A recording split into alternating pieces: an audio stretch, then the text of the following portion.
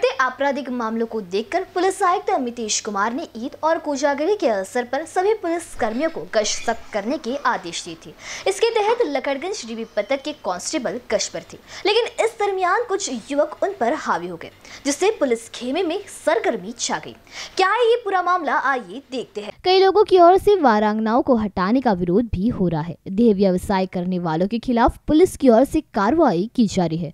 Police का परिसर में बंदोबस्त लगाया गया है। मंगलवार की रात को भी पुलिसकर्मी ड्यूटी पर तैनात थे। इस दौरान गाड़ी पर सवार युवकों की गाड़ी का धक्का कांस्टेबल को लगा। इस बात को लेकर दोनों में जमकर विवाद हुआ। इस दौरान युवकों ने ड्यूटी पर तैनात लकड़गंज पुलिस स्टेशन में पदस्थ मनोज घोड़े के साथ मारपीट की। इस घटना के बाद पुलिस प्रशासन में हड़कम मच गया और आनंद फानंद में पुलिस ने मामला दर्ज कर दो युवकों को गिरफ़्तार कर लिया।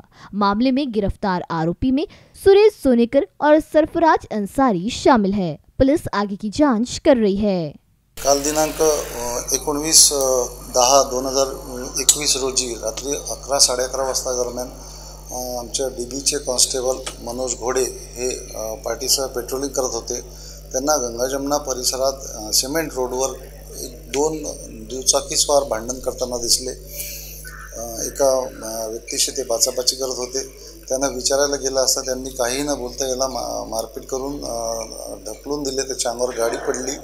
त्याच्यामुळे त्याच्या गुडघ्याला मार लागला आहे व पुन्हा मारहाण सुरू केली म्हणून काही तिथले लोकलचे जे लोक आहेत गंगाजमनाचे ते दोन तीन लोक आले आणि त्याला वाचवलं. आणि लगेच बंदोबस्तातील बाकीचे पोलीस पण त्याच्याकडे गेले आणि त्यांना ताब्यात घेतले.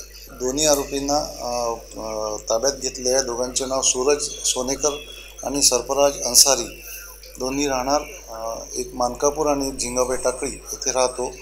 दोघांनाही अटक करण्यात आली आहे आणि दोघांकडून सविस्तर विचारपूस करणे सुरू आहे आणि सविस्तर तपास सुरू आहे. गुन्हेगारी पार्श्वभूमीबाबत सुद्धा पडताळणी करणे सुरू आहे. कैमरा पर्सन अखिलेश भारद्वाज के साथ अभिषेक पानसे बी न्यूज़ नागपुर.